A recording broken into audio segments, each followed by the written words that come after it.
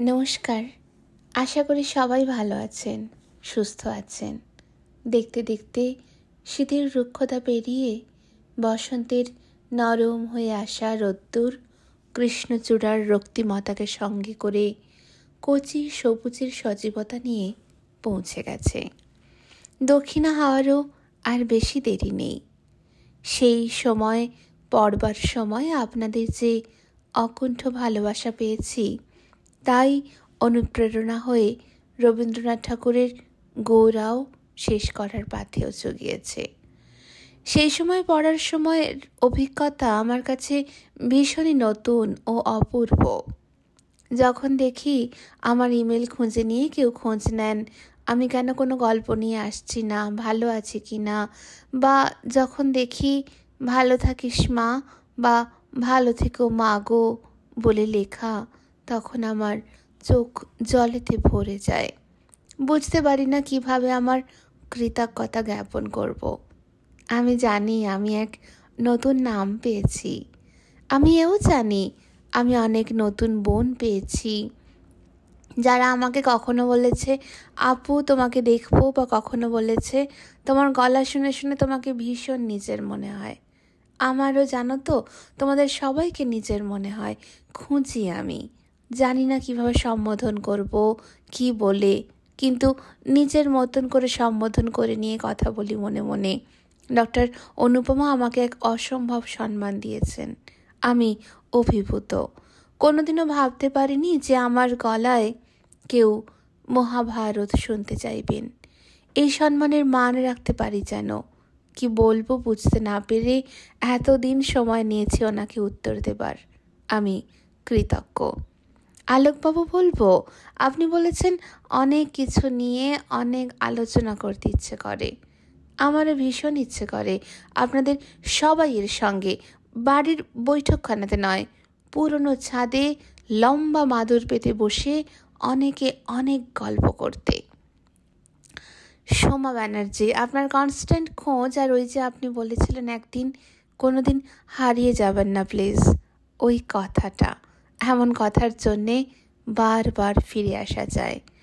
আপনাদের ভালোবাসা, জানি না কি বলে সম্বোধন করব, কৃষ্ণা ম্যাম বলব, আমি না আপু বলব না কৌশিক বাবু, প্রবীর বাবু, সূর্য স্যার বলব, জানি না, তবে নিজের মতন করে সম্বোধন করলাম। আরও অনেকে অনেকে সবার নাম করতে পারলাম না বলে ক্ষমা করবেন, কিন্তু আপনারা প্রথম থেকে শেষ পর্যন্ত আমাকে যেভাবে ঘিরে থেকেছেন, কখনো আমাকে সস্নেহে ঠিক করিয়ে দিয়েছেন, কখনো নতুন গল্প শোনার আগ্রহ প্রকাশ করেছেন, কখনো খোঁজ নিয়েছেন কেমন আছি আমার এক অভূতপূর্ব অভিজ্ঞতা। তাহমিনা ম্যাম, আপনার জন্যই গোড়া বিশেষ করেই আমি আবার শুরু করে শেষ করতে পেরেছি।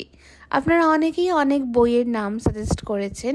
আমি তার মধ্যে থেকেও নিজের পছন্দ মতন তিনটি বই আপাতত বেছে নিয়েছিলাম ভোটের জন্যে এবং যার মধ্যে থেকে আমার নিজের ভীষণ পছন্দের বই রূপমঞ্জরি, নারায়ণ সান্যালের রূপমঞ্জরি। আপনারা সবাই তাকে সব থেকে বেশি মানে বেশিভাবে মনোনীত করেছেন। রূপমঞ্জরি আমার ভীষণ পছন্দের বই। আমি যদি এটা পড়তে পারতাম, ভীষণ খুশি হতাম। দুটো কারণে এই মুহূর্তে এক্ষুনি আমি রূপমঞ্জরি পড়তে পারছি না। প্রথম কারণ হলো আমার কাছে বইটার কোনো পিডিএফ আমি পাচ্ছি না। আর মানে বইটা আমি এখানকার অ্যামাজনে আমি কিনতেও পারছি না। মানে আমি পেলাম না বইটার কোনো সংস্করণ পাইনি এখনও এখানে। আর আর দ্বিতীয় কারণ হচ্ছে, আমি একজনের ভীষণ অডিও বুক শুনি, তার গল্প বলা আমার ভালো লাগে। আর তার সঙ্গে আমি পরিচিত হই পরে।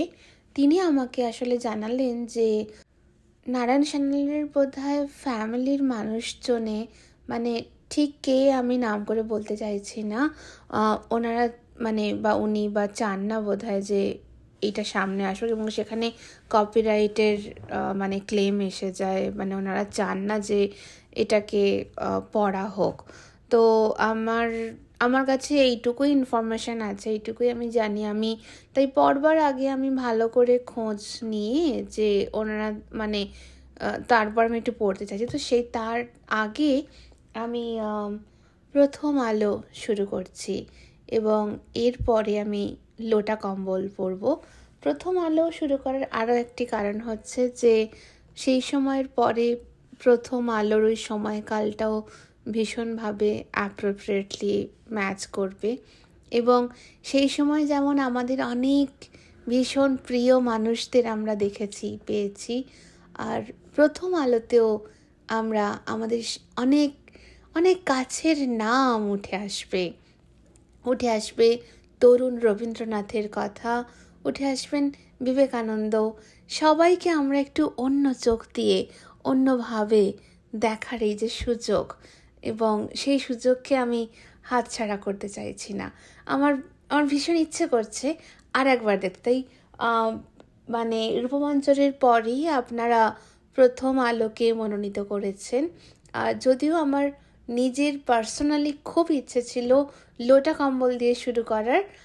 কিন্তু ওই যে বললাম, প্রথম আলোর ওই যে মানুষজন যারা আমাদেরকে বিভিন্নভাবে আলোকিত করেছেন, সেই আলোর ঝলকানিটা আর একবার দেখার লোভ সামলাতে পারছি না। তাই শুরু করছি প্রথম আলো দিয়ে।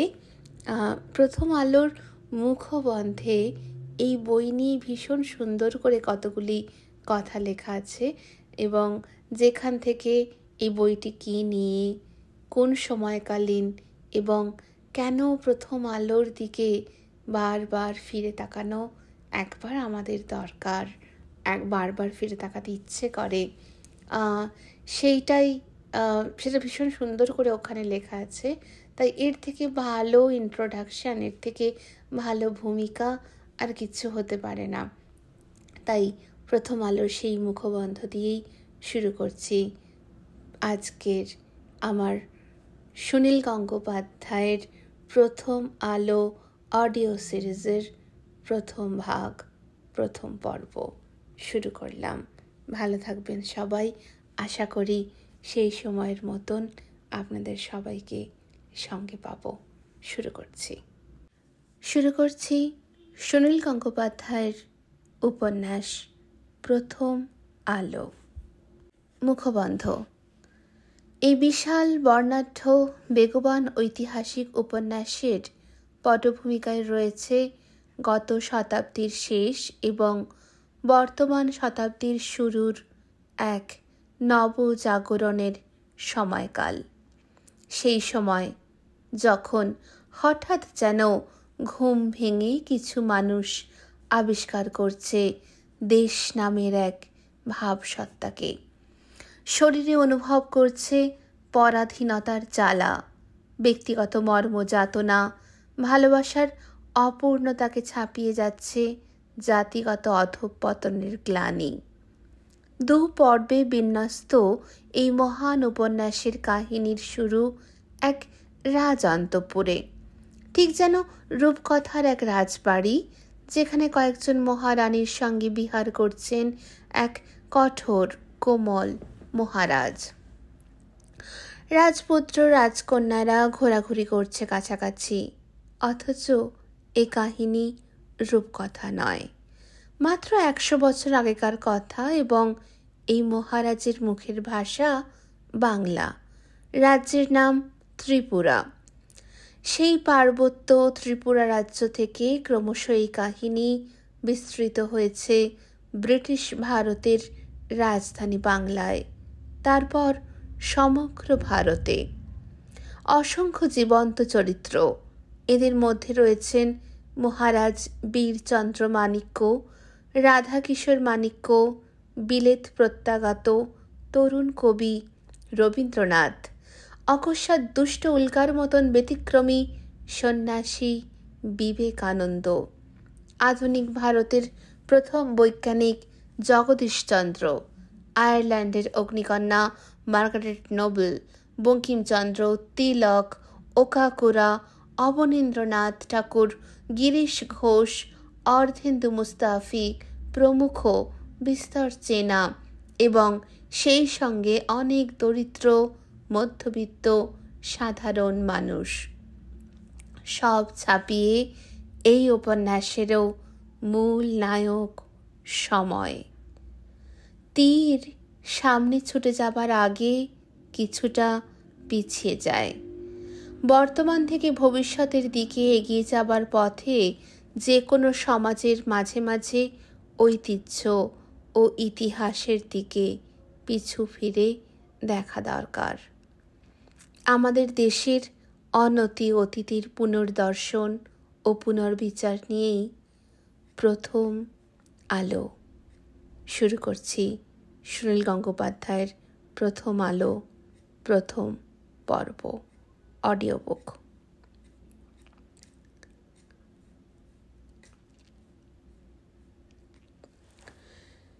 আজকের দিনটি বড় মনোরম। শুভ্র রোদ্দুরে একটুও জ্বালানি স্নিগ্ধ বাতাস বইছে মৃদুমন্দ। পটভূমিকার পাহাড় শ্রেণি স্পষ্ট, দৃশ্যমান। গত কয়েকদিন ছিল একটানা বৃষ্টি। কাল সন্ধ্যায় যেন সমস্ত মেঘ নিঃশেষ হয়েছে, তাই আকাশ সেই দিন নীলাভ। অরণ্যের প্রতিটি বৃক্ষ ও লতাপাতাই স্নান সিক্ত। ফুটে উঠেছে যার যার নিজস্ব বর্ণ। প্রকৃতির মধ্যে ধ্বনিত হচ্ছে আনন্দের কলস্বর। আজ এক সার্থক উৎসবের দিন।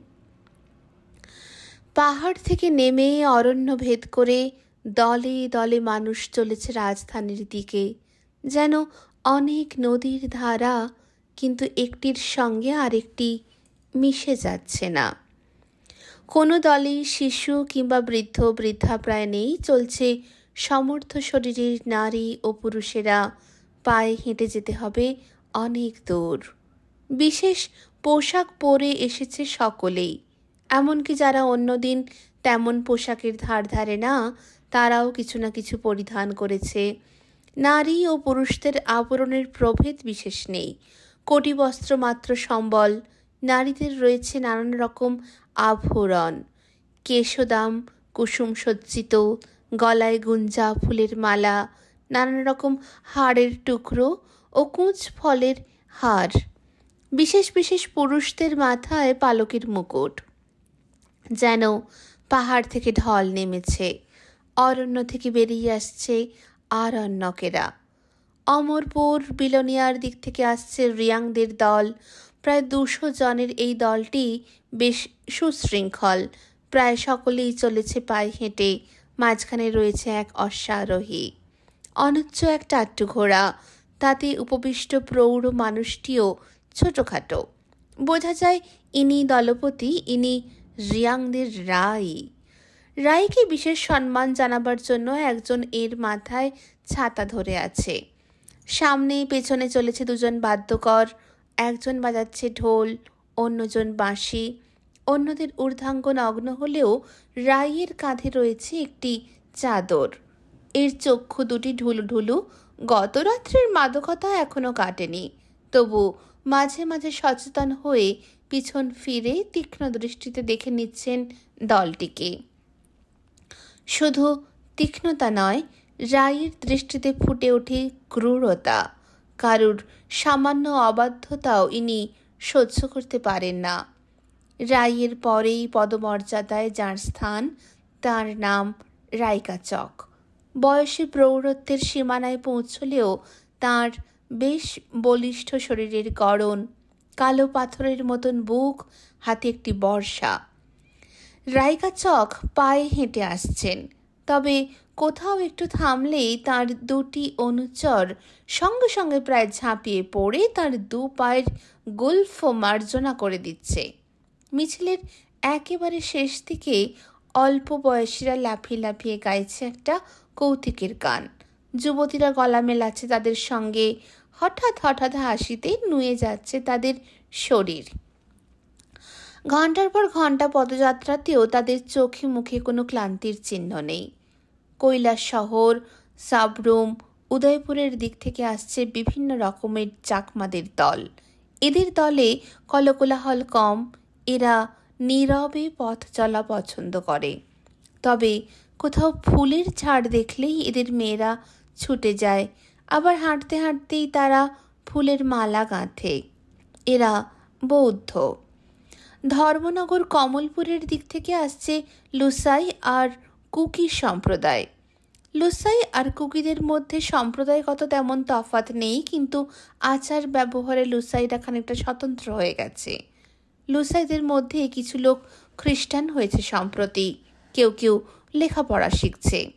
কোপন স্বভাব ও নির্মম লুসাইরা খ্রিস্টান ধর্মের প্রেমের বাণী গ্রহণ করে এখনও বৈপরীত্যের বিভ্রান্তি কাটিয়ে উঠতে পারেনি। লুসাই অর্থাৎ লু চাই, অর্থাৎ নৃমুণ্ড শিকারী। এই তো, কিছুকাল আগেও মৃত দলপতির পারলৌকিক কাজের জন্য তারা মহা উৎসাহে বাঙালি ও মণিপুরীদের মুন্ডু কেটে আনত। এখন পাত্রীরা তাদের শেখাচ্ছেন প্রতিবেশীদের ভালোবাসো। অন্য কুকিদের সঙ্গে এদের ব্যবধান বোঝা যায় পরিধেয় বস্ত্রে। কুকিরা ঊর্ধ্বাঙ্গ ঢাকার ধার ধারে না। লুসাই রমণীরা নিজের হাতে বোনা একখণ্ড বস্ত্রে বক্ষ বেঁধে রেখেছে। সেই বস্ত্রখণ্ড বন মরগের ঝুঁটির মতন তীব্র লাল। দু একটি ছোকরা আবার পাদ্রীদের দেওয়া পাতলুনও পড়েছে আসছে জামাতিয়া, হালাম, নোয়াতিয়া মগ, মুন্ডা, ভিল, গারো, খাসিয়া, ওরাং এবং আরও অনেক উপজাতির মানুষ। পাহাড় জঙ্গলের নিজস্ব ডেরা ছেড়ে বেরিয়ে এসে তারা সকলেই চলেছে একদিকে। এদের মধ্যে হালাম ও জামারতিয়াদের দলে নারীর সংখ্যা কম, পুরুষরা সবাই সশস্ত্র। গান গাওয়ার বদলে এরা মাঝে মাঝে দেয় রণ অহংকার তবে অন্য সম্প্রদায়ের পাশাপাশি চলে এসেও আজ কেউ বিবাদ করবে না। আজ উৎসবের দিন। এবং আসছে ত্রিপুরীরা সব দিক থেকে। এদের সংখ্যাই বেশি। ত্রিপুরীদের অনেকেরই ঘোড়া আছে। নারীদের শরীর আবৃত দুটুকরো কাপড়ে। এরাও গান ভালোবাসে। ত্রিপুরীদের দলে রয়েছে কয়েকটা হাতি, মাহত ছাড়া সেই হাতিগুলির পিঠে কেউ আরোহণ করেনি। এইসব হাতি রাজার জন্য উপহার। অন্য উপজাতীয়রাও কিছু কিছু উপহার নিয়ে চলেছে। কোনো দলে রয়েছে উৎকৃষ্ট তুলোভর্তি পুঁটুলি ঝোড়া ভর্তি জম্পুই পাহাড়ের কমলা লেবু গুচ্ছ গুচ্ছ আনারস, সদ্য আহরিত জুম চাষের ফসল, দুই একটি হরিণ শিশু। আজ বিজয়া দশমী, আজ রাজবাড়িতে মহাভোজ। বিভিন্ন এলাকা থেকে এসব মানুষ চলেছে রাজধানীর দিকে। কোনো কোনো দল যাত্রা শুরু করছে দু তিন দিন আগে। বিজয়া দশমীর সন্ধ্যের মধ্যে পৌঁছে যাবে। রাজার নিমন্ত্রণ। আজ সবাই রাজবাড়ির অতিথি। ত্রিপুরার রাজপ্রাসাদের অলিন্দে পারিষদ পরিবৃত হয়ে দাঁড়িয়ে আছেন চন্দ্রবংশীয় মহারাজ বীরচন্দ্র মাণিক্য। ইংরেজ শাসিত ভারতের মধ্যেও তিনি এক স্বাধীন নরপতি। কিংবদন্তি অনুসারে তিনি মহাভারতের যজাতির বংশধর। ভোগ বাসনায় অতৃপ্ত মহারাজ যজাতি তাঁর পুত্রদের কাছ থেকে যৌবন ধার চেয়েছিলেন। যে কজন পুত্র তাদের পিতার এই উৎকট খেয়াল চরিতার্থ করতে অস্বীকার করে, তাদের নির্বাসনে পাঠিয়েছিলেন ক্রুদ্ধ যজাতি। সেই নির্বাসিত পুত্রদের একজন ছিলেন দ্রুচ্ছ। তিনি আর্যাবর্ত ত্যাগ করে বহু দূর চলে এসে উত্তর পূর্ব ভারতের সীমানায় কিরাত রাজ্যের স্থানীয় রাজ্যকে পরাজিত করে স্থাপন করেন নতুন রাজ্য ত্রিপুরা। সেই কাহিনী অনুসারে অবিচ্ছিন্ন চন্দ্রবংশীয় শাসনের একশো পঁচাত্তরতম উত্তরাধিকারী এই মহারাজ বীরচন্দ্র মাণিক্য। হয়তো এসবই গল্প কথা। উত্তর ভারতীয় আর্যদের সঙ্গে বর্তমান কয়েক পুরুষের রাজাদের আকৃতির মিল নেই, বরং স্থানীয় আদিবাসীদের সঙ্গে সাদৃশ্য স্পষ্ট। ইদানিং এই বংশের রাজারা মণিপুর থেকে রূপসী রমণীদের রাজ পরিবারে বধূ করে আনছেন। সেই সংমিশ্রণে পরবর্তী বংশধরদের অবয়বে মঙ্গলীয় ছাপ পড়েছে। মহারাজ বীরচন্দ্র মাণিক্য মাঝারি উচ্চতার একজন বলিষ্ঠকায় পুরুষ। প্রবল ব্যক্তিত্ব সম্পন্ন মুখমণ্ডলে প্রথমেই চোখে পড়ে নাকের নিচের অতি পুরুষ্টু গোঁফ। এই গোঁফের বৈশিষ্ট্য এই যে ওষ্ঠের দুদিকে দৃঢ়ভাবে ফুলে থাকলেও নাকের ঠিক নিচের অংশটি মণ্ডিত। মহারাজ বয়সের বিচারের প্রৌঢ়ত্বে পৌঁছলেও তার অঙ্গ সঞ্চালন যুবকোচিত। কিছুক্ষণ আগেই তিনি দীর্ঘ পথ অশ্বচালনা করে রাজধানীতে ফিরেছেন। বংশের প্রথা অনুযায়ী তিনি নবমীর রাত্রিতে উদয়পুরে ত্রিপুরা সুন্দরী মন্দিরে পূজা দিতে গিয়েছিলেন। মহাভোজের সময় উপস্থিত থাকতেই হবে বলে তিনি ব্যস্ত সমস্ত হয়ে ফিরেছেন। এখন অপরাহ্ন। কিন্তু সূর্যদেব পশ্চিম গগনে পুরোপুরি ঢলে যাননি। বিকেলের পরিপূর্ণ আলোয় চতুর্দিক উজ্জ্বল। রাজপ্রাসাদের সামনে বিসর্জনের বাজনা শুরু হয়ে গেছে। দুর্গা প্রতিমা নিরঞ্জনের শোভাযাত্রায় অবশ্য মহারাজ স্বয়ং যাবেন না। মঙ্গল ঘট বহন করে নিয়ে যাবেন তার জ্যেষ্ঠ পুত্র। ভবিষ্যৎ যুবরাজ রাধা কিশোর। এ রাজ্যের প্রজারা সবাই আদিবাসী। বহু উপজাতিতে বিভক্ত, তাদের ভাষাও বিভিন্ন। দূরত্ব ও দুর্গমতার কারণে আর্য সভ্যতা এখানে তেমন আধিপত্য বিস্তার করতে পারেনি।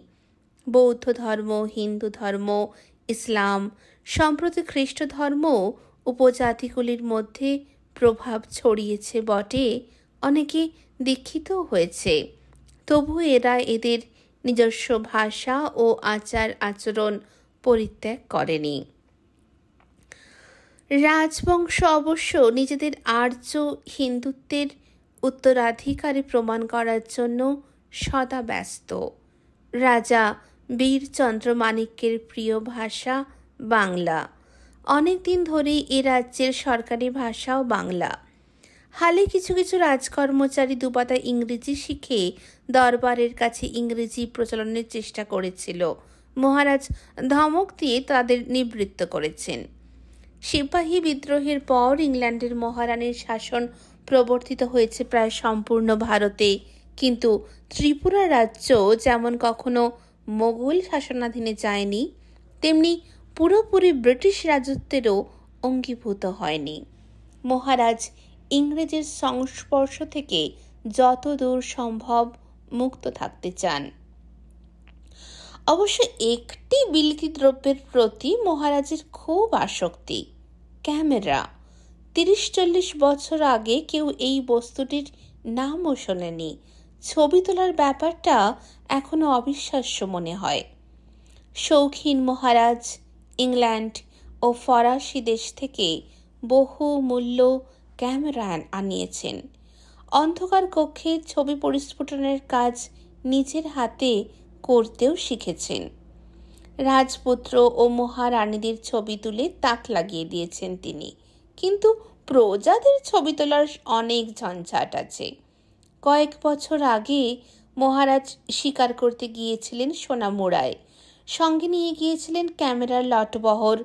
সেখানে একটি কুকি যুবককে দেখে তার মনে হয়েছিল, মনুষ্য জাতির মধ্যেই এমন শরীরের গরণ বিরল। যেন এক ভ্রমর কৃষ্ণবর্ণ দেবতা। তার আকৃতি শুধু নিখুঁত নয়, বিস্ময়কর তার মুখের সারল্য। মহারাজের সামনেও তার দৃষ্টিতে কোনো শঙ্কা, কুণ্ঠা বা দীনতা নেই। যেন এই পৃথিবীটাকেই সে সত্য দেখছে। মহারাজের ইচ্ছা হয়েছিল এই ছেলেটির ছবি তুলে বিশিষ্ট ব্যক্তিদের দেখাবেন। ছবি তুলতে সময় লাগে। তিন পায়া স্ট্যান্ডের ওপর বসাতে হয় মস্ত বড় প্লেট ক্যামেরা। ভিউ ফাউন্ডারে যাতে আলো না পড়ে সেই জন্য একটি বড় কালো রঙের সিল্কের চাদরের তলায় ক্যামেরা ও ক্যামেরাম্যান ঢাকা পড়ে যায়। তারপর লেন্সের ফোকাস করতে হয় ঠিক মতন। কুকি যুবকটিকে দাঁড় করানো হলো একটি কাঁঠাল গাছের তলায়। পেছন দিকে লালসাই পাহাড়। মহারাজ কালো চাদরের তলায় অদৃশ্য হয়ে গেলেন। তার সঙ্গী মহিম ঠাকুর, হায়দার খাঁ, নিসার হোসেন ও আরও কয়েকজন যুবকটিকে বলতে লাগলেন, এই, একটুও নড়বি না। নিঃশ্বাস বন্ধ করে থাক। চোখের পলক ফেলবি না, তোর ছবি সাহেবরা দেখবে। মহারাজ ফোকাস ঠিক করতে পারছেন না। মিনিটের পর মিনিট কেটে যাচ্ছে। পারিষদরা অনবরত সাবধান বাণী উচ্চারণ করে যাচ্ছেন ছেলেটিকে। সে কি বুঝলো হঠাৎ কে জানে? হঠাৎ চোখ উল্টে ঝুপ করে মাটিতে পড়ে গেল। অমন একটা জোয়ান ছেলে। সদ্য বলি দেওয়া ছাগের মতন দা পাতে লাগল, হাত পা ছড়িয়ে। গাঁজলা বেরোতে লাগল তার মুখ থেকে। একটু দূরে ভিড় করে দাঁড়িয়েছিল অনেকে। তারা এবার আতঙ্কে চিৎকার করে উঠল। তক্ষণে রটে গেল যে মহারাজ একটা অদ্ভুত কালো বাক্সে ওই কুকি যুবকের আত্মা বন্দি করে ফেলেছেন। এই রটনা অনেকটা বিশ্বাসযোগ্যতাও পেয়ে গেল একটা বিশেষ কারণে। অন্যান্য উপজাতীয়দের তুলনায় কুকিদের তেজ বেশি। তারা রাজশক্তির বিরুদ্ধে বিদ্রোহ করেছে কয়েকবার। এই যুবকটি আবার লাল চোকলার কনিষ্ঠ পুত্র। সেই লাল চোকলা কুকিদের দুর্ধর্ষ দলপতি। অনেক বছর আগে যিনি মণিপুরীদের গ্রাম কোচাবাড়ি আক্রমণ করেছিলেন। তার পিতা লারুর সমাধিতে কয়েকটি টাটকা নরমুণ্ড নিবেদন করার জন্যেই ছিল লাল চোখলার এই অভিযান। গভীর অরণ্যে এরকম কোনো ঘটনা ঘটলে তার তরঙ্গ রাজপ্রাসাদ পর্যন্ত পৌঁছয় না। কিন্তু মণিপুরীদের ওপর এই আক্রমণে রাজ পরিবারেও দারুণ বিক্ষোভের সৃষ্টি হয়েছিল। মণিপুরের কন্যারা এই বংশের রানী হয়ে আসে। শ্বশুরবাড়ির লোকজনদের প্রতি সকলেরই পক্ষপাতিত্ব থাকে, তাই বেশ কিছু মণিপুরী ত্রিপুরায় এসে বসতি স্থাপন করেছে এবং রাজদরবারে উচ্চ পদ পেয়েছে। কুকি দলপতি লাল চোখলাকে সায়স্তা করবার জন্য মণিপুরীরা খেপে উঠল। শেষ পর্যন্ত ইংরেজ সৈন্যদের সাহায্য নিয়ে বন্দি করা হলো লাল চোখলাকে। তাঁর দণ্ড হল যাবজ্জীবন নির্বাসন। মহারাজ বীরচন্দ্র মাণিক্য ওই কুকি যুবকটির পরিচয় জানতেন না। লাল চোখলা রাজপরিবারের শত্রু, তার কনিষ্ঠ পুত্র বীরুর আত্মা মহারাজ একটা কালো বাক্সের মধ্যে টেনে নিয়েছেন। এই প্রচার ছড়িয়ে গেল আগুনের মতন। আর একটা কুকি বিদ্রোহের উপক্রম। মহারাজ হতভম্ব হয়ে গেলেন। অনেক চেষ্টা করেও তার আসল উদ্দেশ্য বোঝাতে পারলেন না। সোনামুড়ার চিকিৎসারও কোনো ব্যবস্থা নেই। রোগ ব্যাধি হলে এখানকার মানুষ দুধ পুষ্করিণীর জল খায়। খুব কাছেই মাত্র পাঁচ ছ মাইল দূরে কুমিল্লা শহর। মহারাজ জানতেন যে সেখানে একজন ধন্বন্তরীর মতন কবিরাজ আছেন। নিজের হাতির হাওদায় বীরু চোকলাকে তুলে নিয়ে তিনি দ্রুত চলে গেলেন কুমিল্লা। সৌভাগ্যের বিষয়ে একদিনের মধ্যেই ছেলেটি সুস্থ হয়ে উঠল। এরপর থেকে মহারাজ তার প্রজাদের ছবি তোলার আর কোনো চেষ্টাই করেননি। ছবি কাকে বলে তা এখানকার মানুষ জানবে কি করে? অনেকে যে নিজের মুখখানাই স্পষ্ট করে কখনো দেখেনি। এই পৃথিবীতে মানুষ হয়ে জন্মালো একটা গোটা জীবন কাটিয়ে আবার মাটিতে মিশে গেল। নিজের মুখখানা ঠিক মতন চিনলই না। প্রতিদিনের আহার্য যেখানে অনিশ্চিত, শরীর থাকবার জন্য এক টুকরো বস্ত্র মাত্র সম্বল সেই সব অরণ্য কুটিরে দর্পণের বিলাসিতার প্রশ্নই নেই। মেয়েরা মুখ দেখে স্থির চলে। জলাশয়ের জল তেমন পরিচ্ছন্ন হয় না। নদীর জল চঞ্চল। তাই মেয়ে মাটির পাত্রে জল ধরে রাখা হয়। দু তিন দিন থিতিয়ে ওপরের জল পরিষ্কার হলে দুপুরের রোদে মেয়েরা সেই জলের দিকে মুগ্ধ দৃষ্টিতে চেয়ে থাকে। নারী জাতি রূপ সচেতন। পুরুষদের মধ্যে এরকম রীতি নেই। কিছু কিছু ব্যবহার মেয়েদের মানায়। পুরুষদের পক্ষে তা অনুকরণ করতে চাওয়া মানহানিকর। কোনো কৌতূহলী কিশোর কখনো বাড়িতে এরকম মাটির পাত্রে ধরা জলের সামনে মুখ নিয়ে এলে তার পিতা তাকে প্রচণ্ড শাসন করেন। মাটিতে তার মুখ ঘষে দেন। সেই সব কিশোর যুবকেরা কখনো কোনো ঝর্ণায় কিংবা দিঘিতে উবু হয়ে চুমুক দিয়ে জল খেতে গিয়ে দেখতে পায় একটি মুখের ছায়া। সবিষয়ে ভাবে এই কি আমি? প্রজারা জানতে পারবে না। মহারাজ বীরচন্দ্র মাণিক্য প্রাসাদের অলিন্দ থেকে আজ ছবি তুলবেন। আজ তার রাজ্যের সমস্ত অঞ্চল থেকে সমস্ত উপজাতীয় প্রজারা আসবে। আজই সুবর্ণ সুযোগ। ব্যাভেরিয়া থেকে সদ্য নতুন একটি ক্যামেরা আনিয়েছেন তিনি। তাতে নাকি দূর থেকে স্পষ্ট ছবি তোলা যায়। আজ সেই ক্যামেরারও পরীক্ষা হবে। কয়েকটি দল এসে গেছে এরই মধ্যে। সামনের বিশাল চত্বরে প্রত্যেকটি উপজাতীয়দের জন্য নির্দিষ্ট করা আছে স্থান। এক একটি মিছিল এসে অলিন্দের নিচে দাঁড়িয়ে মহারাজের নামে জয়ধ্বনি দিয়ে চলে যাচ্ছে নিজেদের জায়গায়। এ সময় স্বয়ং মহারাজের দর্শন দেবার প্রথা নেই প্রজারা আনুগত্য জানাচ্ছে রাজপ্রাসাদকে। সূর্যাস্তের পর যখন দশমীর চাঁদ উঠবে তখন চন্দ্রবংশীয় এই রাজা গিয়ে দাঁড়াবেন সব প্রজাদের মাঝখানে একটি অনুচ্চ বেদিতে। বিভিন্ন দলপতি এসে উপহার দ্রব্য এনে রাখবে তার সামনে। আজকের দিনে নজরানা দেওয়া বাধ্যতামূলক নয়। রাজকোষ থেকেই এত বিশাল ভোজের ব্যবস্থা কিন্তু এই সরল আদিবাসীরা যতই দরিদ্র হোক, রাজ দর্শনে আসার সময় কিছু না কিছু ভেট আনবেই। এই পর্ব শেষ হবার পর মহারাজ প্রজাদের সঙ্গে অল্প অন্ন গ্রহণ করবেন মাটিতে এক পংক্তিতে বসে। এই প্রথা চলে আসছে অনেক দিন ধরে। বিজয়া দশমীর দিনে হাসাম ভোজন। কেউ কেউ একটু শুদ্ধ করে বলে অসম ভোজন। এতগুলি উপজাতির মধ্যে রয়েছে অনেক রকম ভেদাভেদ। প্রায় সকলেই অতি দরিদ্র ও অর্থনগ্ন। তবু এর মধ্যে কেউ কেউ অন্যদের তুলনায় নিজেদের মনে করে উঁচু জাত। এক উপজাতির সঙ্গে অন্য উপজাতির বিবাহ সম্পর্ক হয় না।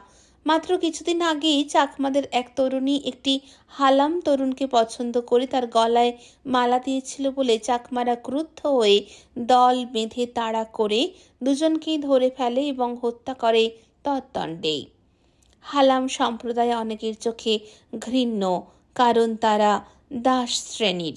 তাদের স্বাধীন জীবিকা নেই। আবার হালামরা গর্ব করে বলে, বিজয়া দশমীর এই হাসাম ভোজন আসলে হালাম ভোজ। একসময় ত্রিপুরা রাজ্যের সৈন্যবাহিনীতে হালামরাই ছিল প্রধান।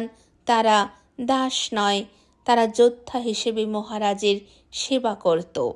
সেই জন্যেই আগের কালের মহারাজারা বছরে একদিন সৈন্যবাহিনীর সঙ্গে একাশনে ভোজন করতেন। সে যাই হোক, আগেকার দিনে যে নিয়মই থাকুক, মহারাজ বীরচন্দ্র মাণিক্য এই একটি দিন সকল উপজাতীয়দের এক জায়গায় মেলাতে চান এবং সকলের মাঝখানে আহার করতে বসে বুঝিয়ে দিতে চান যে তার চোখে প্রজাদের মধ্যে কোনো জাতি বৈষম্য নেই। সামনের চত্বরের এক পাশে হোগলার ছাউনি দিয়ে বাঁধা হয়েছে আটচালা সেখানে দশটি উনুনে প্রকাণ্ড প্রকাণ্ড হাঁড়িতে রান্না চড়েছে। খিচুড়ি আর পায়সান্ন, এই দুটি মাত্র পদ সবাই পেট চুক্তি খাবে। সকলের খাওয়া শেষ হতে হতে রাত ভোর হয়ে যাবে। এক একজন সন্ধেবেলা থেকে খেতে বসে, ভোর হবার আগে ওঠেই না। রাজার আদেশ আছে যে যতবার যতখানি চাইবে তাকে তত দিতেই হবে।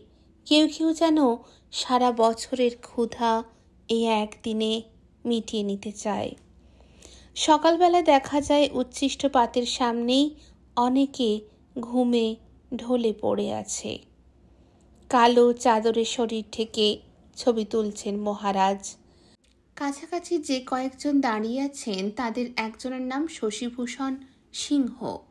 ত্রিপুরার রাজকার্যে এবং শিক্ষা ব্যবস্থায় আধুনিকতা প্রবর্তনের জন্য মহারাজ কলকাতা থেকে কয়েকজন বিশিষ্ট শিক্ষিত ব্যক্তিদের আনিয়েছেন।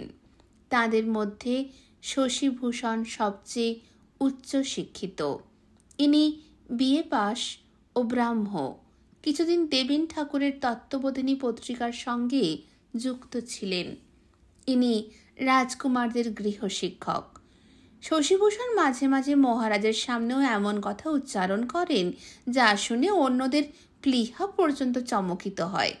কিন্তু এর সম্পর্কে মহারাজের একটা প্রশ্রয়ের ভাব আছে। শশীভূষণ গৌরবর্ণ, সুপুরুষ তীক্ষ্ণ নাশা পোশাকের ব্যাপারে অত্যন্ত শৌখিন, চুনাট করা ধুতি ও বেনিয়ান সবসময় শুভ্রবর্ণ মাথায় বাবরি চুল, চোখে সোনালি ফ্রেমের চশমা।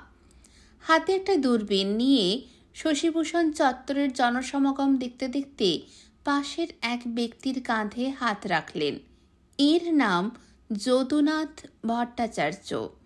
বিষ্ণুপুর ঘরানার একজন বিশিষ্ট সঙ্গীতজ্ঞ মহারাজের দরবারের নবরত্ন সভার অন্যতম। শশীভূষণ একে বললেন, ভট্টমশাই অনেকদিন তো এ দেশে রইলেন, ট্রাইবগুলিকে পৃথক পৃথকভাবে চিনতে পারেন? বলুন দেখি, নোয়াতিয়া আর ওরাংদের মধ্যে পার্থক্য কি? যদুনাথ নিরীহ ধরনের মানুষ, গান বাজনা ছাড়া অন্য কিছু বিশেষ বোঝেন না।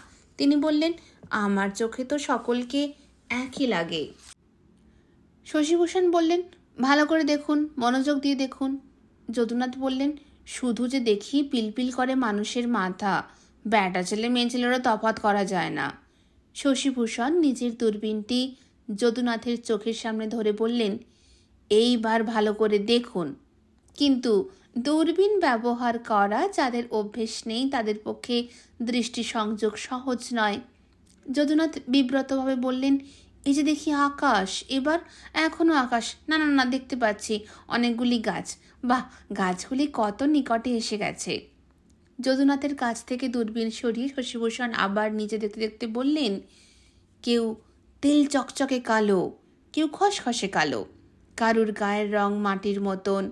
ওরাং রমণীদের রিয়া বা বক্ষবন্ধনী আর লুসাইদের রিয়া এক নয়। কুকিদের চলার মধ্যে একটা তেজের ভাব, প্রত্যেকের হাতে অস্ত্র। বলতে বলতে অকস্মাৎ থেমে গেলেন শশীভূষণ। কিছুটা ঝুঁকে একদিকে ভালো করে নিরীক্ষণ করে অস্ফুট স্বরে বললেন, আশ্চর্য আশ্চর্য। বিকেলের আলো মরে আসছে, এরপর আর ভালো ছবি আসবে না। মহারাজ মাথার উপর থেকে কালো কাপড় সরিয়ে সোজা হয়ে দাঁড়ালেন। গোফে বাঁ হাতের তর্জনী বলে জিজ্ঞাসা করলেন, সিংহমশাই, আশ্চর্যের কি দেখলে? শশীভূষণ বললেন, মহারাজ, এক পাল মেষের মধ্যে একটি ব্যাঘ্র শাবক দেখলে আপনি অবাক হবেন না? আমি যে তাই দেখছি। মহারাজ ভৌরতুরে বললেন, সত্যি নাকি? ব্যাঘ্র শাবক? শশীভূষণ বললেন, আপনি নিজে দেখুন, ওই যে লুসাইরা এসে সমবেত হচ্ছে, তাদের পশ্চাৎ দিকে। শশীভূষণ নিজের দূরবীনটি মহারাজের দিকে এগিয়ে দিতেই পাশ থেকে দু তিনজন হসব্যস্ত হয়ে বলে উঠল, করেন কি করেন কি? মহারাজ স্মিত হাসে শুধু একটা হাত তুললেন। অপরের ব্যবহৃত কোনো জিনিস যে মহারাজ স্পর্শ করেন না, তাই বাঙালি বাবুটি জানেন না। একজন ভৃত্য দৌড়ে গিয়ে মহারাজের নিজস্ব দূরবীন নিয়ে এলো। মহারাজ সেটি চোখে সংস্থাপন করে লুসাইদের দলটি ভালোভাবে পর্যবেক্ষণ করলেন। তারপর বললেন, হুম, একটি গৌরবর্ণ ছোকরাকে দেখা যাচ্ছে বটে। ওকে আপনার ব্যাঘ্র শাবক মনে হলো কেন? শশীভূষণ বললেন, শুধু গাত্রবর্ণ গৌর নয়, চুলের রং দেখুন, খাঁটি ইংরেজের সন্তান মনে হয়। ও কেন এসেছে?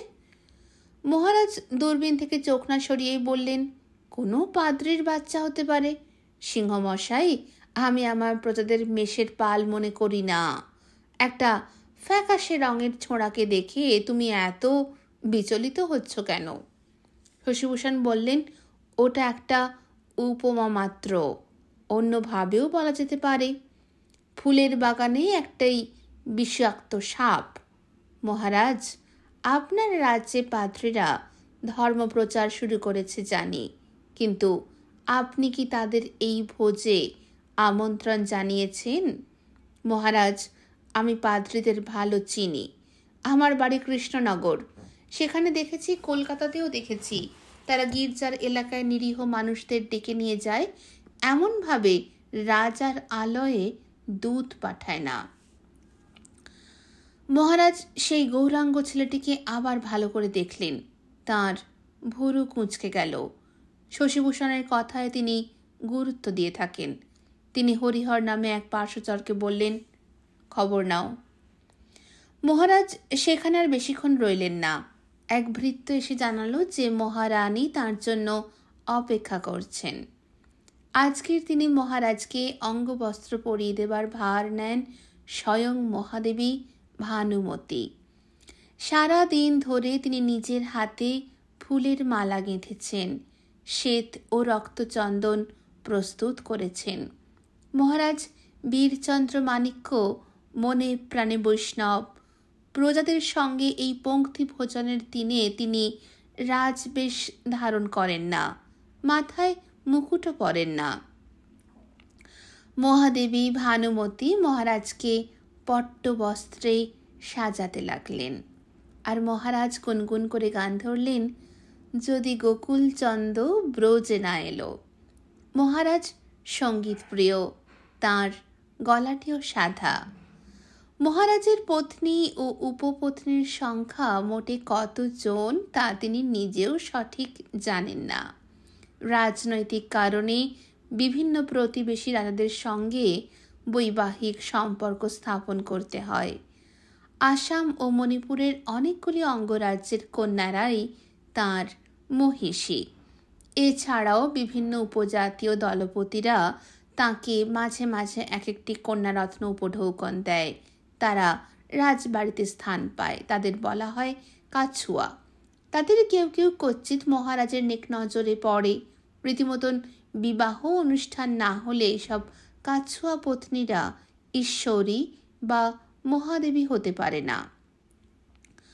মহাদেবী ভানুমতী এ রাজ্যের পাট রানী ভানুমতী মহারাজের প্রায় সমবয়সী।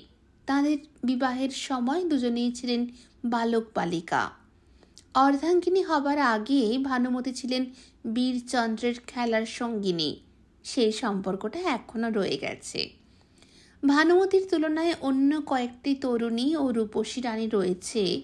মহারাজ প্রায় তাদের কোনো একজনের মহলে রাত্রিবাস করতে যান বটে, কিন্তু ভানুমতির কাছে, এমনকি দিনের বেলাতেও যখন তখন আসেন রঙ্গ কৌতুক করবার জন্য। নিরালা প্রকোষ্ঠে ভানুমতী বীরচন্দ্রকে সবসময় মহারাজ হিসেবে শ্রদ্ধা প্রদর্শন করেন না, বরং কখনো কখনো শানিত বিদ্রুপ ঝলসে ওঠে তার কণ্ঠে। একদিন ভানুমতী অভিমানের অশ্রু বর্ষণ করতে করতে পালঙ্কের চারপাশে ছুটছিলেন আর মহারাজ বীরচন্দ্র হাত জোর করে গান গাইতে গাইতে তার মান ভাঙাতে চেষ্টা করছিলেন। আড়াল থেকে কয়েকজন দাসী এই দৃশ্য দেখে ফেলে বিস্ময় অজ্ঞান হয়ে যাবার উপক্রম। মহাপ্রতাপশালী এবং প্রয়োজনে অতি নির্মমে রাজা বীরচন্দ্র এক এক সময় এমন ছেলে মানুষ হয়ে যেতে পারেন? মহারানী ভানুমতী, সুস্বাস্থ্যবতী, বয়সের বলিরেখা পড়েনি শরীরে। মুখে রয়েছে তেজের আভা। মণিপুরীতির তুলনায় চক্ষু দুটি টানা টানা। প্রৌঢ়ত্বে পৌঁছে গেলেও তার কণ্ঠস্বরে বালিকার চা পড়ল। বীরচন্দ্রের কপালে চন্দনের ফোঁটা দিতে দিতে ভানুমতি মৃদুস্বরে বললেন আজ আমিও আপনার সঙ্গে যাব।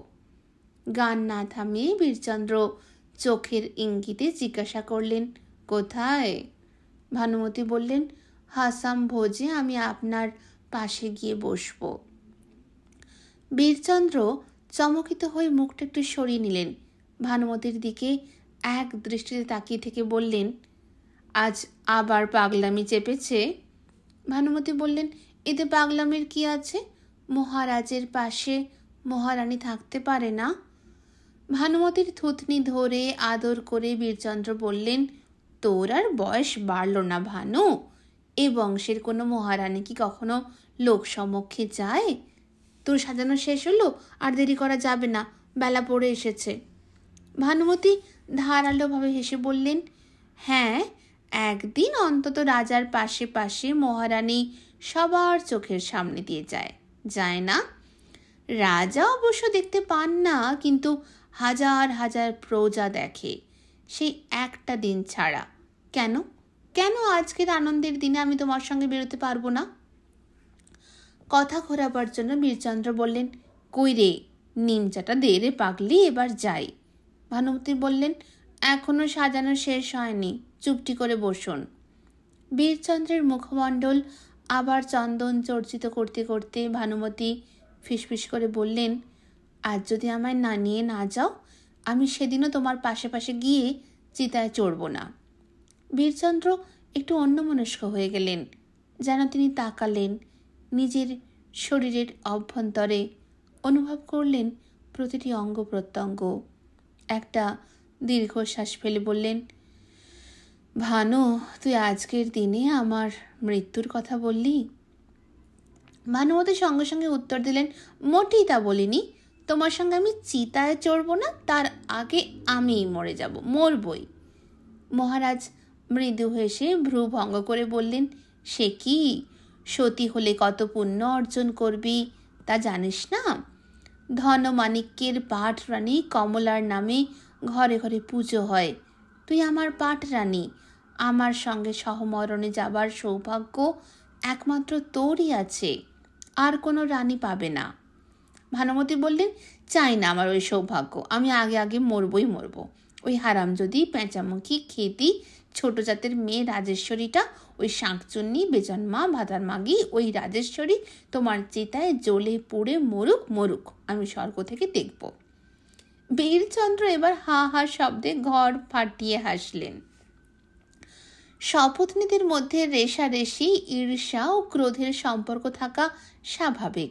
বীরচন্দ্র তা জানেন। এক এক রানী অন্য এক রানীকে বিষ খাইয়ে মেরে ফেলেছে, এমন ঘটনাও এ প্রাসাদে ঘটেছে।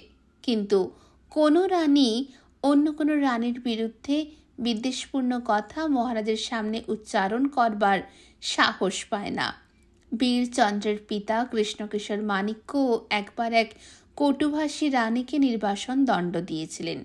মহারাজ বীরচন্দ্র রানীদের বিবাদের মধ্যে একেবারেই মাথা গলান না। তার সামনে ওই প্রসঙ্গ উত্থাপন করাও নিষিদ্ধ। কিন্তু ভানুমতির কথা স্বতন্ত্র। ভানুমতি যে তার বাল্য সখী তাকে শাসন করা যায় না। বীরচন্দ্র হাসতে হাসতে বললেন ভাতার মাগি, হারাম জাদি কিসব ভাষা? লোকে কি ভাবে জানিস? রাজবাড়ির মধ্যে সবাই খুব শুদ্ধ ভাষায় কথা বলে। খারাপ কথা মুখেই আনে না। তোকে নিয়ে আর পারি না ভানু। তুই জানিস, আর কোনো রানী যদি আমার সামনে এইরকম কথা বলতো, তাহলে আমি এই মুহূর্তে কচাত করে তার মুন্ডুটা কেটে ফেলতাম। ভানুমতি ঘরের কোণ থেকে দ্রুত একটা তলোয়ার নিয়ে এলেন। মণিমাণিক্য খচিত খাপ।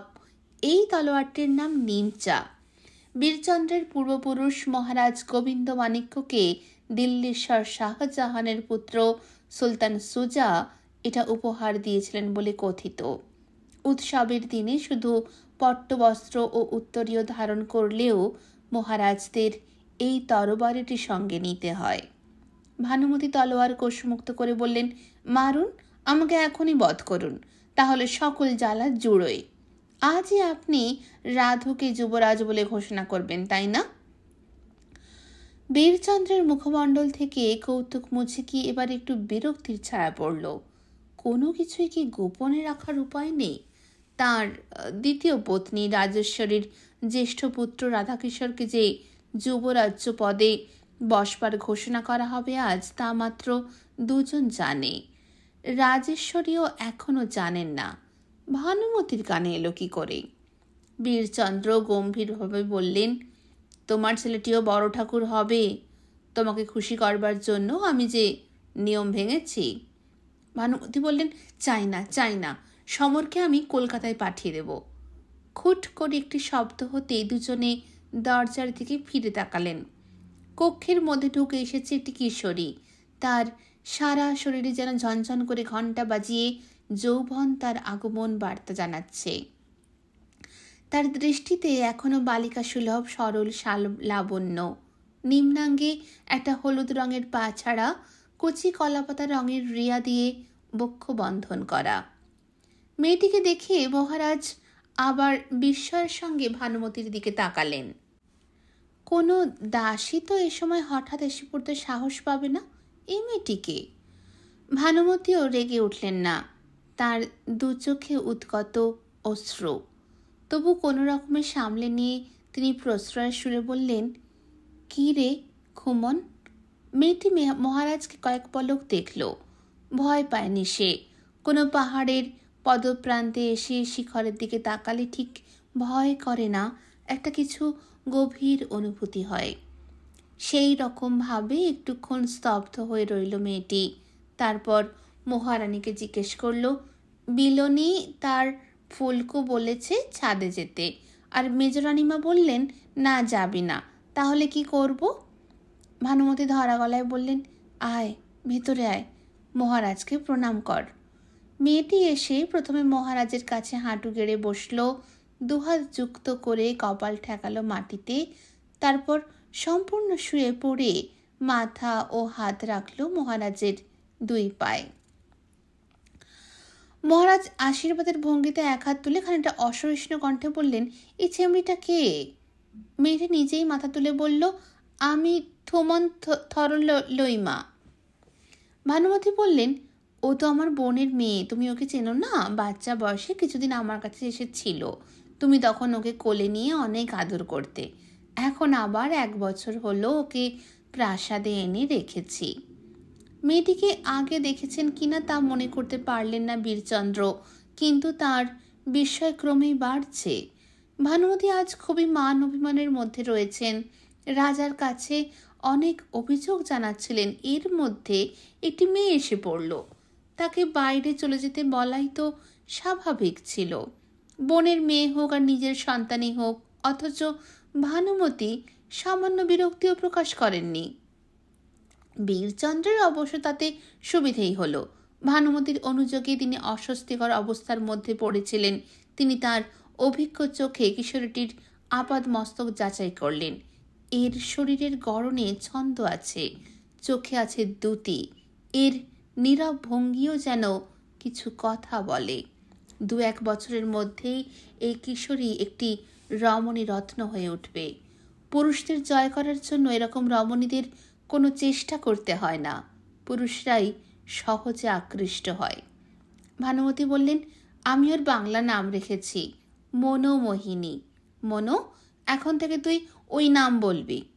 বীরচন্দ্র বললেন, বাংলা নাম রেখেছ, শাড়ি পরাওনি কেন তবে? ভানুমতি বললেন হ্যাঁ শাড়ি পরা শেখাতে হবে। এখনও দুরন্ত আছে তো, গায়ে আঁচল রাখতে পারে না। বীরচন্দ্র এবার থরলইমা ওরফে মনোমোহিনীকে বললেন, ছাদে যাবি না কেন?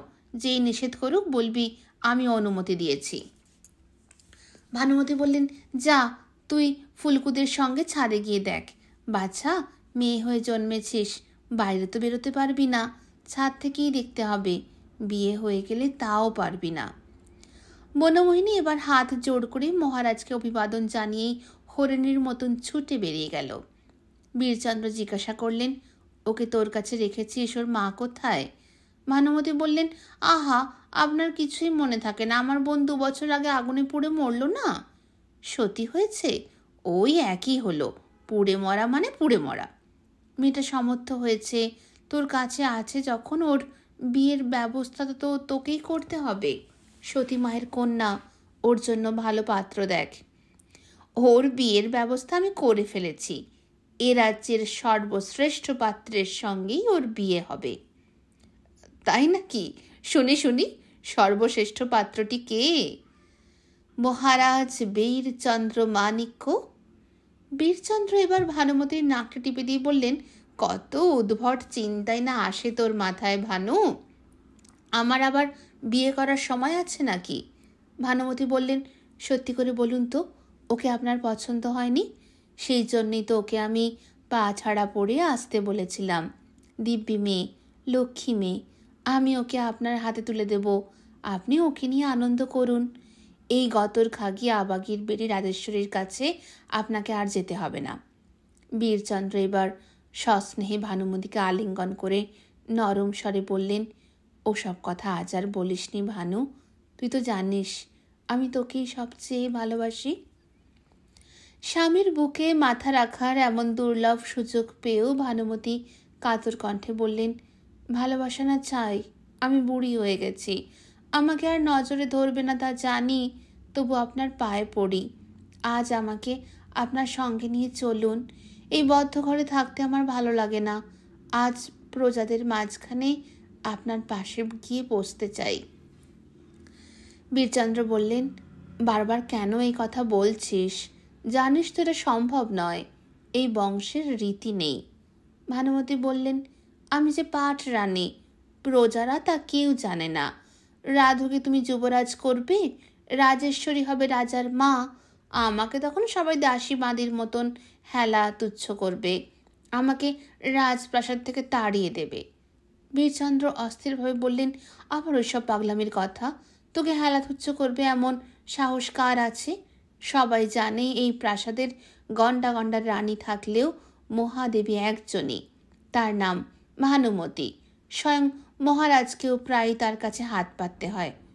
ভালো কথা, রাজকোষ কিন্তু প্রায় শূন্য। শিগগিরই তোর কাছে আমাকে আবার লাখ খানেক টাকা ধার চাইতে হবে। ভানুমতি আরও কিছু বলতে যাচ্ছিলেন, তাকে বাধা দিয়ে বীরচন্দ্র বললেন আর আর সময় নেই রে, সময় নেই, সবাই অপেক্ষা করছে। শোন, আজ ভোজ পর্ব সেরে আমি তোর কাছেই ফিরে আসব। সারা রাত থাকব তোর সঙ্গে। অনেক কথা আছে, নতুন যে গান বেঁধেছি, তাও তোকেই প্রথম শোনাবো। ভানুমতি এবার খানিকটা সরে গিয়ে গাঢ় চোখে তাকিয়ে বললেন ঠিক ফিরে আসবেন আমার কাছে? বীরচন্দ্র বললেন, ঘরে ধুনো, গুগল দিয়ে রাখিস। আজ তোর শয্যায় একসঙ্গে ঘুমোবো। কথা দিলাম। ভানুমতি বললেন, তিন সত্যি করুন? বীরচন্দ্র বললেন হ্যাঁ হ্যাঁ হ্যাঁ। মহারানীর মহল থেকে বেরিয়ে এসে কালো ও সাদা পাথরের চৌখুপ্পি করা লম্বা বারান্দা পেরিয়ে এসে বীরচন্দ্র আরও একটি কক্ষে এলেন। এখন দুজন বৃত্ত তাকে জুতো পরাবার জন্য প্রস্তুত হয়ে আছে। তারা বিভিন্ন ধরনের জুতো পরাতে লাগল। মহারাজা অপছন্দ করে মাথা নাড়তে লাগলেন। তিনি ভেতরে ভেতরে বেশ বিচলিত হয়ে পড়েছেন। আজকের দিনটি যেমন আনন্দের, তেমন সংকটেরও বটে। প্রজাবৃন্দের সামনে তিনি যুবরাজের নাম ঘোষণা করবেন। ভানুমতি এতে আঘাত পাবেন অবশ্যই। তাছাড়া বীরচন্দ্র জানেন, এই প্রাসাদের কিছু কিছু আত্মীয় পরিজন ও মন্ত্রণাদাতাদের এতে সমর্থন নেই। ভানুমতির পক্ষে আছে না অনেকে। ভানুমতির নিজস্ব ধনসম্পদ যথেষ্ট। বিশাল গড় ও আগরতলা পরগনা ভানুমতির বাসতামূলক। সেখানকার অনেক কর্মচারী তার বাধ্য। এরা সবাই মিলে যুবরাজের বিরুদ্ধে এখনই কোনো ষড়যন্ত্র শুরু করবে না তো? তবে একটা ব্যাপারে বীরচন্দ্রের দৃঢ় বিশ্বাস আছে। তিনি যতদিন জীবিত আছেন, ভানুমতি কোনো ক্রমেই তার বিরুদ্ধাচারণ করবেন না। এই বয়সে আর ঠিক প্রেম না থাকলেও দুজনের মধ্যে স্নেহ, মমতা, বন্ধুত্বের সম্পর্ক খুবই সুদৃঢ় অতি অল্প বয়সে এই প্রাসাদে রানী হয়ে এসেছেন ভানুমতি। তিনি যে যোগ্যতম মহাদেবী, তাতেও কোনো সন্দেহ নেই। অন্দরমহলের সকলেই তাকে সমীহ করে। কিন্তু একটা ব্যাপারে ভানুমতি তার স্বপত্নী রাজেশ্বরীর কাছে হেরে গেছেন। বহুদিন পর্যন্ত ভানুমতির কোনো পুত্র সন্তান হয়নি, এমনকি ধরেই নেওয়া হয়েছিল যে ভানুমতি বুঝি বাঁজা পুত্রার্থে ক্রিয়তে ভার্যা যে স্ত্রী স্বামীর বংশে কোনো পুত্র সন্তান উপহার দিতে পারে না, সে তো অচল পয়সার মতন পরিত্যাজ্য। সাধারণ ঘরে ঘরে এই নিয়ম আর রাজ পরিবারে পুত্রহীনা রানী তো রক্ষিতার সমতুল্য। মহারাজ বীরচন্দ্র নিতান্ত স্নেহবশতেই ভানুমতিকে বাতিল করে দেননি। শেষ পর্যন্ত ভানুমতি একটি পুত্রের জন্ম দিয়ে নারীত্বের চরম পরীক্ষায় উত্তীর্ণ হয়েছেন বটে, কিন্তু ততদিনে রাজেশ্বরীর তিনটি পুত্র জন্মে গেছে। তার ফলে উত্তরাধিকারের প্রশ্ন নিয়ে দেখা দিল বিপত্তি। যুবরাজ হবেন কে? পাট রানীর সন্তান না রাজার জ্যেষ্ঠ সন্তান। বড় কুট প্রশ্ন। এই বংশে প্রাসাদ ষড়যন্ত্র লেগেই আছে। সিংহাসনের অধিকার নিয়ে মারামারি, কাটাকাটি ও আদালতের মামলা হয়েছে অনেকবার। স্বয়ং বীরচন্দ্রকেও অনেক দুর্ভোগ সহ্য করতে হয়েছে। বীরচন্দ্র সিংহাসনে বসেছিলেন তার বড় ভাই ঈশানচন্দ্রের সহসা মৃত্যুর পর। তার ফলে ঈশানচন্দ্রের পুত্ররা এবং বীরচন্দ্রের অন্য ভাইরা নিজেদের দাবি উত্থাপন করে চক্রান্তে মেতে ওঠে। সুযোগ সন্ধানীরা বিভিন্ন পথ অবলম্বন করে উস্কানি দেয়। চট্টগ্রামের কমিশনার, বাংলার লেফটেন্যান্ট গভর্নরকে পর্যন্ত মধ্যস্থতা করতে হয়েছিল। সিংহাসন আঁকড়ে থেকে বীরচন্দ্র অন্য দাবিদারদের প্রতি নির্মম হতে বাধ্য হয়েছিলেন। পথের কাঁটা নির্মূল করতেও তিনি দ্বিধা করেননি। আবার যাতে সেই রকম পারিবারিক বিদ্রোহ না ঘটে, সেই জন্য বীরচন্দ্র আগেই মনস্থির করে রাজেশ্বরীর গর্ভ যাতে তাঁর প্রথম সন্তান রাধা কিশোরকে তাঁর উত্তরাধিকারী হিসেবে নির্বাচন করেছেন। বীরচন্দ্র জানেন, ভানুমতির প্রতি পক্ষপাতিত্ব দেখিয়ে তিনি ভানুমতির সন্তান সমরেন্দ্রচন্দ্রকে যৌবরাজ্য দিলে শত্রু সংখ্যা বৃদ্ধি পাবে তো বটেই। আদালতের বিচারেও চতুর্থ রাজকুমার সমরেন্দ্রচন্দ্রের দাবি টিকবে না। ইংরেজের আদালত জ্যেষ্ঠ সন্তান কি মর্যাদা দেয়। তবু তো খানিকটা রীতিবিরোধী হয়ে তিনি সমরেন্দ্রচন্দ্রকে বড় ঠাকুরের পদ দিতে চাইছেন। এ রাজ্যে যুবরাজের পরেই বড় ঠাকুরের প্রাধান্য।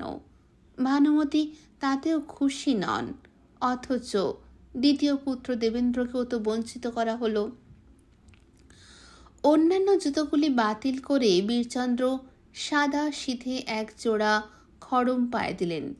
তারপর সেই কক্ষ থেকে নিষ্ক্রান্ত হয়ে একবার চিন্তা করলেন, রাজেশ্বরীর সঙ্গে দেখা করে যাবেন কিনা ভানুমতির জ্বর আছে সর্বত্র।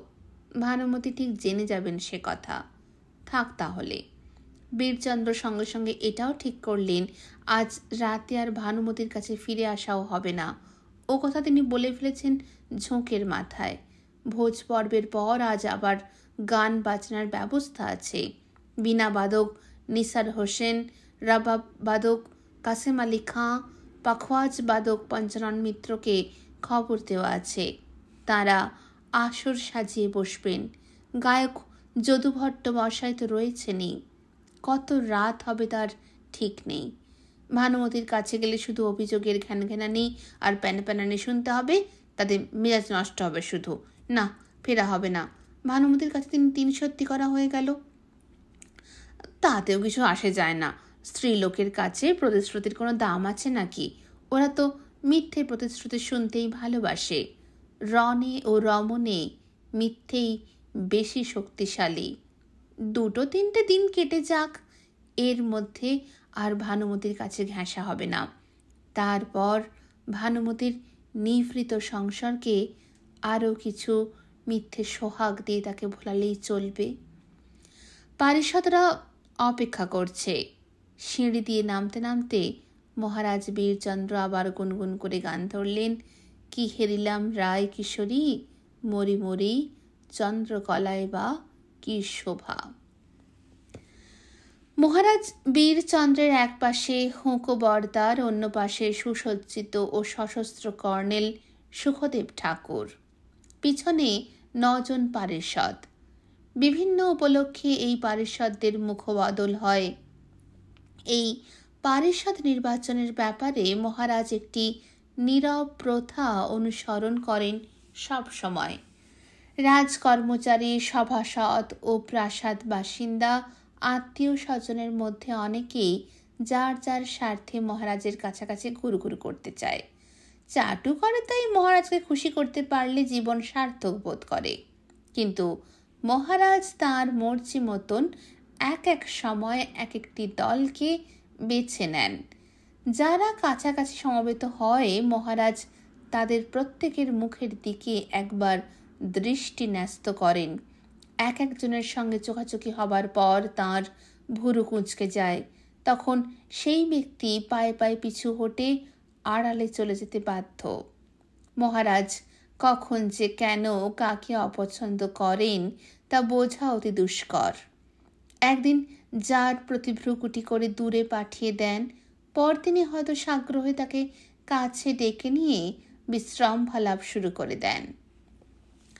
রাজা রাজরাদের ব্যাপারের ব্যবহারের ব্যাখ্যা কেউ দাবি করে না। কর্নেল সুখদেব ঠাকুর মহারাজের পরামর্শদাতা এবং প্রধান দেহরক্ষী। তিনি এবং একান্ত সচিব রাধারমন ঘোষ তাঁর নিত্যসঙ্গী। গৃহশিক্ষক শশীভূষণ কিন্তু কখনো স্বেচ্ছায় রাজ সন্নিধানে আসার চেষ্টা করেন না। মহারাজ নিজেই কৌতুকের সঙ্গে লক্ষ্য করেছেন যে ওই মানুষটিকে না ডাকলে কখনো দেখা পাওয়া যায় না। ছবি তোলার ব্যাপারে মহারাজ প্রায় ওর কাছ থেকে সাহায্য নেন। আগে বীরচন্দ্র দাগেরো টাইপ ছবি তুলতেন, সেই সঙ্গে কালোডিয়ান ওয়েট প্লেট ফটোগ্রাফিরও চর্চা করেছেন। সিলভার নাইট্রোটে ডোবানো কাঁচের প্লেটের সঙ্গে সঙ্গে ক্যামেরায় ভরে ছবি তোলার ঝঞ্ঝাট অনেক। শশীভূষণই তাকে ড্রাই প্লেটের সন্ধান দিয়েছেন। কিন্তু শশীভূষণ মহারাজের কাছে কখনো বা অতিরিক্ত পারিতোষিক নিতে চান না। মনে হয় শশীভূষণের অর্থাভাব নেই, হয়তো তার যথেষ্ট পৈতৃক সম্পত্তিও আছে।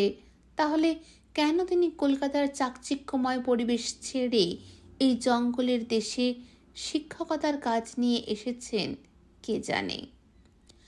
গড়গড়ার নলে মৃত টান দিতে দিতেই বীরচন্দ্র কয়েকবার ভ্রু কুঞ্চিত করে কয়েকজন অনুসরণকারীকে বিদায় দিলেন। তারপর প্রাসাদ থেকে বার হবার ঠিক আগে সিংহদ্বারের আড়ালে দাঁড়িয়ে একান্ত সচিবকে জিজ্ঞাসা করলেন ঘোষমশাই প্রতি বৎসর এই উৎসবের দিনে আমি প্রজাদের পক্ষে মঙ্গলময় কোনো সুবিধার কথা ঘোষণা করি। এ বৎসর কি ঘোষণা করব ঠিক করেছ? রাধারমন ঘোষ মধ্যবয়স্ক ও মধ্যম আকৃতির মানুষ। তার বেশবাস অতি সাধারণ পা দুটি নগ্ন। তাকে দেখলে বোঝাই যায় না যে এ রাজ্যে তিনি এক অতি গুরুত্বপূর্ণ পদাধিকারী। তার নাকটি তীক্ষ্ণ নয়, কিন্তু কণ্ঠস্বর আনুনাসিক।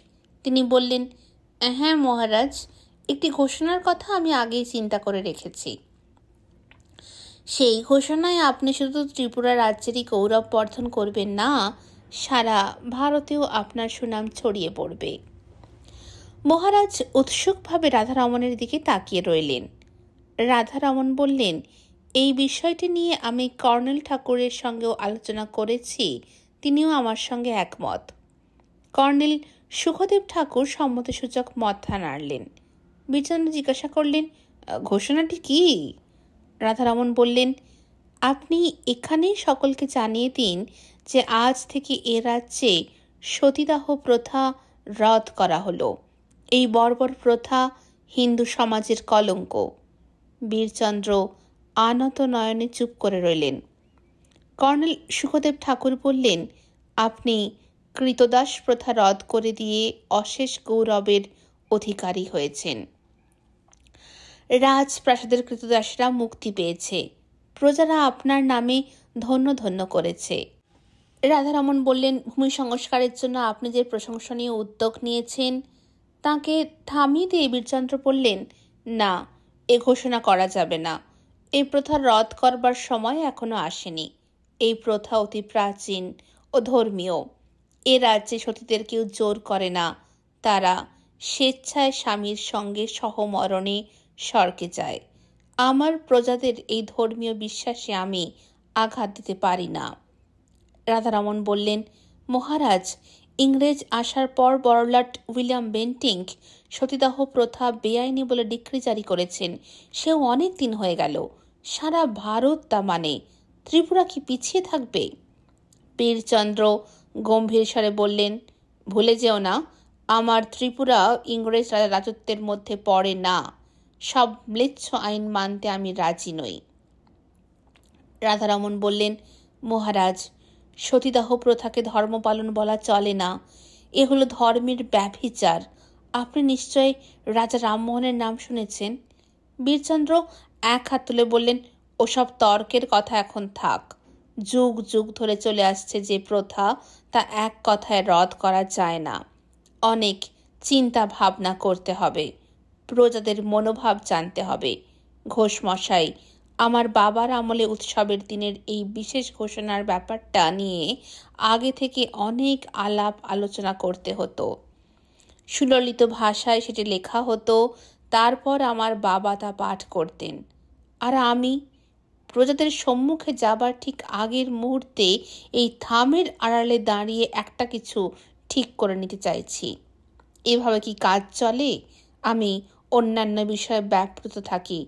তোমরা আগের থেকে কিছু ঠিক করে রাখতে পারো নি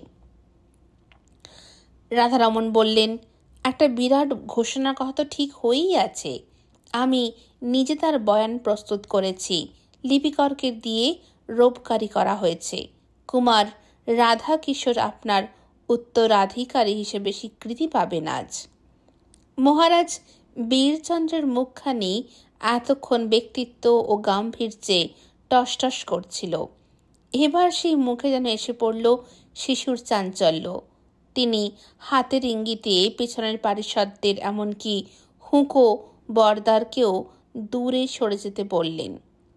তারপর খানিকটা ভয়ার্ত ফিসফিস স্বরে বললেন এই ঘোষণাটি আমি এ বছর স্থগিত রাখতে চাই।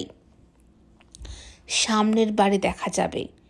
রাধারমন এমন কথা শুনে খুবই বিস্মিত হলেন নিশ্চয়ই, কিন্তু তার মুখে কোনো রেখা ফুটল না। কর্নেল সুখদেব ঠাকুরের সারা মুখখানি চমকিত। রাধারমন ধীর কণ্ঠে বললেন, তার ফল কিন্তু ভালো হবে না। বীরচন্দ্র নিজের কর্মচারীর কাছে খানিকটা অনুনয় করে বললেন, কেন? এক বছর দেরি হলে কি এমন ক্ষতি হবে? আমার স্বাস্থ্য ভালো আছে, আমি হঠাৎ করে মরেও যাচ্ছি না। রাধারমন বললেন, মহারাজ, আপনি শতায়ু হন, আমরা সকলেই তাই চাই। কিন্তু কুমার রাধাকিশোরের কত বয়স হলো তা আপনি খেয়াল করেছেন কি? তিনি যুবক হয়েছেন অনেক দিন আগে। কুমার ধীর, স্থির, দায়িত্বশীল। আপনি গান, বাজনা, ছবি আঁকা, ফটোগ্রাফি নিয়ে নিরত থাকেন। এখন কুমারের হাতে রাজকার্যের কিছু দায়িত্ব দিলে রাজ্যেরই মঙ্গল হবে। তো দাও না কিছু দায়িত্ব। খঞ্জনা, খাজনা আদায়ের ভার দাও, স্কুল খোলার ভার দাও। তার আগে পদাধিকার দেওয়াটা বিশেষ জরুরি, মহারাজ। আপনি কি যুবরাজ পদ দেওয়ার ব্যাপারে আপনার মন বদল করেছেন? না না, তেমন কোনো কথা বলিনি। কুমারের যোগ্যতা সম্পর্কে আমার কোনো সন্দেহ নেই। শুধু বলছি, ঘোষণাটা বিলম্বিত হোক। তাতে শুধু কুমার নন, আরও অনেকে নিরাশ হবেন। সবাই ধরেই নিয়েছে যে আজই কুমারের যৌবরাজ্যের ঘোষণা হবে। সবাইকে জানিয়ে দিয়েছ বুঝি? না, মাত্র তিনজন ব্যক্তি ছাড়া আর কোনো কাকপক্ষীকেও আমি জানাইনি। তবু লোকে জেনে যায়, গত দু বছর আপনি এই উৎসবের দিন এখানে উপস্থিত থাকতে পারেননি। কার্শিয়াং গিয়েছিলেন। এবার গতবার কার্শিয়াং গিয়েছিলাম। তার আগের বার ঢাকা শহরে যেতে হয়েছিল জরুরি কাজে। এবারে বড় আকারে উৎসব হচ্ছে মহারাজ। আপনি স্বয়ং প্রজাদের মাঝখানে গিয়ে দাঁড়াবেন। সকলেরই ধারণা, কুমার রাধা কিশোরকে আপনি এবারেই তার প্রাপ্য সম্মান দেবেন। কুমার রাধা কিশোর আপনার বংশের আরও মুখোজ্জ্বল করবে, তাতে কোনো সন্দেহ নেই। এ বছর যদি ঘোষণা স্থগিত রাখি, তাহলে কুমার কি আমার বিরুদ্ধে বিদ্রোহ করবে নাকি? স্বয়ং কুমার তা করবেন না। কুমার অতিশয় নম্র আপনাকে ভক্তি শ্রদ্ধা করেন। কিন্তু কুমারের অনুরাগীরা হঠাৎ ফুঁসে উঠলে আশ্চর্যের কিছু নেই। কুমার ইতিমধ্যেই খুব জনপ্রিয়। হুম, কিন্তু ঘোষাল মশাই, তুমি তো জানো যে মহাদেবী ভানুমতিরও যথেষ্ট লোকবল আছে। তার বাপের বাড়ির লোকজনের রাজা যথেষ্ট শক্তি ধরে। মহাদেবী তাঁর সন্তানের জন্য সিংহাসনের দাবি ছাড়েননি। সমরেন্দ্র সাঙ্গপাঙ্গরা যদি মণিপুরীদের উস্কানি দেয়, তাহলে হঠাৎ আগুন জ্বলে উঠতে পারে। রাধারমন কর্নেল সুখদেব ঠাকুরের দিকে চেয়ে বললেন, এবার আপনি বলুন কর্নেল। কর্নেল ঠাকুর গলা খাঁকারে দিয়ে বললেন, মহারাজ, এই ব্যাপার নিয়ে আমরাও চিন্তা করেছি, খবরাখবর নিয়েছি। কুমার সমরেন্দ্রর পক্ষের লোকেদের মধ্যে গুপ্তচর লাগানো হয়েছে, নিশ্চিত করে বলতে পারি। কুমার সমরেন্দ্র কিংবা তার পক্ষের লোকরা সেরকমভাবে তৈরি নয়। তাদের মধ্যে ক্ষোভ আছে বটে। বড় রানীর ছেলেই সিংহাসনের ন্যায্য অধিকারী। এরকম কথা তারা প্রচারও করছেন, কিন্তু বিদ্রোহ ঘটাবার মতন সমর্থক তাদের নেই। রাধারমন বললেন, কুমার রাধা কিশোরকে যুবরাজ হিসেবে ঘোষণা করে তার হাতে পুলিশ বাহিনী দিলে কেউ আর তার বিরুদ্ধতা করতে সাহস পাবে না। কর্নেল সুখদেব ঠাকুর বললেন, কুমার সমরেন্দ্রর উচ্চাভিলাষ অঙ্কুরেই বিনাশ করা দরকার। নইলে গোলযোগ শুরু হবে, মামলা মোকদ্দমায় জেরবার হতে হবে, তাতে এ রাজ্যেরই ক্ষতি। মহারাজ হঠাৎ চোখ পাকিয়ে বিকট মুখভঙ্গি করে দেহরক্ষীকে বললেন, তুই রাধাকিশোরের কাছ থেকে অনেক টাকা খেয়েছিস, তাই না? আমার কাছে তার হয়ে দালালি করছিস? আমি বেঁচে আছি, এর মধ্যেই কাল নেমির লঙ্কা ভাগ শুরু হয়ে গেছে। যত সব হারামজাদাদের পাল। মহারাজ এবার সচিবের দিকে চাইলেন। রাধারমন সোজাসুজি তাকিয়ে আছেন এখনও তার মুখ ভাবলেশীন তার এরকম ঠান্ডা স্বভাবের জন্য মহারাজ তার উপর কখনো উষ্মা প্রকাশ করতে পারেন না। এবার তিনি সিংহদ্বারের দিকে পা বাড়ালেন। তার অন্তরে এক ধরনের অসহায়তা ও তজ্জনিত ক্রোধ টকবক করছিল, কিন্তু বাইরে এসে আকাশের দিকে তাকিয়েই হঠাৎই আবার তার মেজাজ প্রশান্ত হল। নির্মল আকাশে ফুটে আছে দশমীর চাঁদ। তার থেকে যেন ফুলের রেণুর মতন ছড়ে পড়ছে জ্যোৎস্না। মহারাজের মনে হলো ওই চাঁদ যেন জীবন্ত। পুরাণ কাহিনীতে চন্দ্রদেবতা, একজন পুরুষ এবং দুর্বল ক্ষয়রোগী কিন্তু মহারাজের তা মনে পড়ল না। তিনি দেখলেন এক হাস্যময় নারীর মুখ যেন স্বর্গলোক থেকে তাঁরই দিকে চেয়ে আছে। এখনই যদি ওই চাঁদের একখানা ফটোগ্রাফ তোলা যায়, তাহলে সেই নারীর মুখ নিশ্চিত ফুটে উঠবে। নমস্কার আজ এই পর্যন্তই রইল।